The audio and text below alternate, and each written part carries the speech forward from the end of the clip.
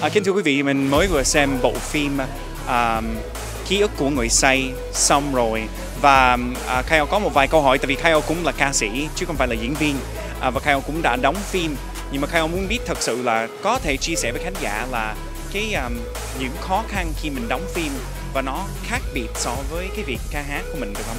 Dạ được. À, dạ thưa anh à, thì uh, đi hát thì uh, anh cũng biết rồi mình lên sân khấu thì mình chỉ hát một bài 5 phút Ừ. là xong coi như là bổn phận mình xong. À, nhưng mà đóng phim thì nó nó là một cái mảng khác đối với Đăng Nguyên. Thực sự đây là lần đầu tiên Đăng Nguyên à, tham dự những cái phim ngắn như vậy có rất là nhiều cái khó khăn như là ví dụ người diễn viên à, bằng nữ đi. À, bằng nữ là người Nhật bạn bạn đó không có nói được tiếng Việt Nam và không có nói được tiếng Anh. Oh. Chỉ nói được tiếng Nhật thôi. Và Đăng Nguyên không biết nói tiếng Nhật.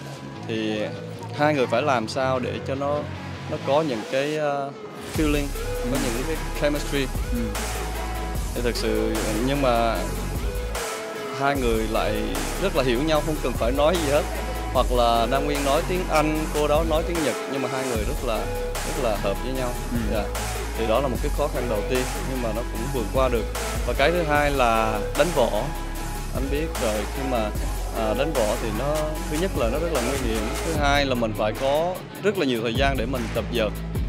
À, Đăng Nguyên chỉ có một buổi duy nhất để tập dượt với lại à, team và phải ra ngoài phải đánh như thế nào.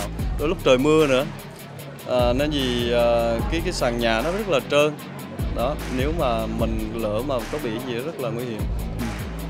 À, cái thứ cái thứ ba là Hiếu Nguyện á, là một người rất là cao và to À. thì Đăng Nguyên phải bưng Hiếu Nguyện lên không không những là một lần mà Đăng Nguyên bưng Hiếu Nguyện lên phải là 6 7 lần như vậy Ồ. tại vì um, phải làm lại rồi nhưng mà Đăng Nguyên làm được trong vòng một ngày à, thì đó là một cái, cái việc khó khăn.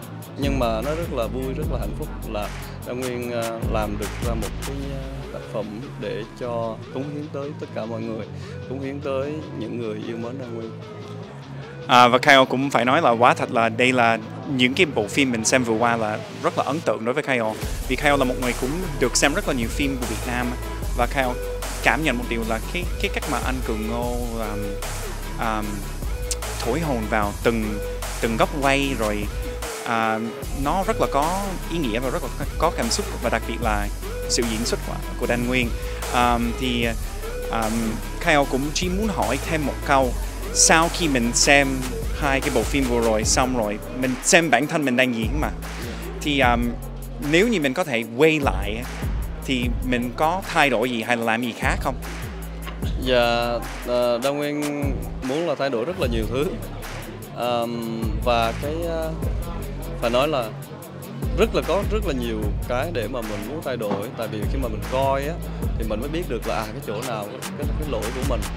Thì à, từ đó Đăng Nguyên sẽ học hỏi nhiều hơn. Hy vọng là những cái phim tới Đăng Nguyên sẽ làm tốt hơn.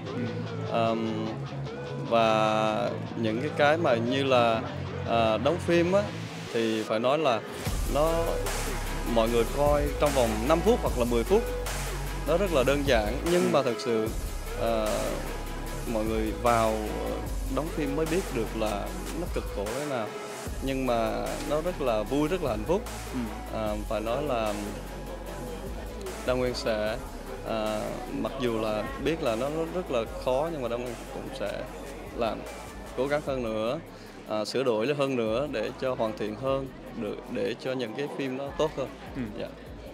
Cảm ơn sự chia sẻ của Đan Nguyên và cảm ơn đã đưa khán giả đến với những cung bậc cảm xúc vô cùng sâu sắc à, và thông qua những cái lời bài hát rất là hay do chính Đan Nguyên cũng đã suy nghĩ ra. À, Đan Nguyên đã mang lại cho khán giả lần này um, rất là nhiều những điều ý nghĩa và hay. Xin cảm ơn rất cảm nhiều ơn nha. uh, anh Kyle